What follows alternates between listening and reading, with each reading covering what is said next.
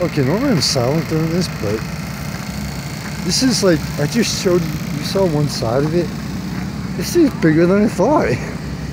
Honestly, I didn't think that it would be this huge. A lot of great food vendors and a lot of variety here. They did a fantastic job on this, honestly. I am amazed and impressed. Hope you're enjoying the tour, by the way. Hopefully you get hungry.